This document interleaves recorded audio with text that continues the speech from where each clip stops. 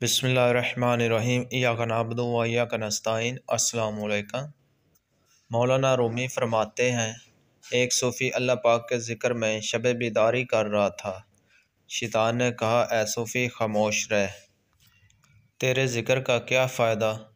अल्लाह ताला की तरफ़ से जवाब नहीं आ रहा। सूफ़ी दिल बर्दाश्ता होकर सो गया। ख्वाब में हज़रत खिदर अलैहिस्सलाम से मुलाकात हुई। आप इस्लाम ने फरमाया, अल्लाह ताला के ज़िक्र से क्यों गाफल हो गए हो? सूफ़ी कहने लगा, अल्लाह ताला की तरफ़ से जवाब नहीं आ रहा, इसलिए ज़िक्र छोड़ दिया। हज़रत खिदर इस्लाम ने फरमाया, अल्लाह ताला कहता है, ए बंदे, तेरा अल्लाह कहना ही मेरा जवाब है। जब तक तेरा पहली बार अल्लाह कहना कबूल नहीं होता, उस वक्त तक मैं दूसरे बार कहने की तोफ़ीक नहीं देता जब तक पहले पहला कह जाने वाला कबूल ना हो जाए। कैसी लगी हमारी वीडियो?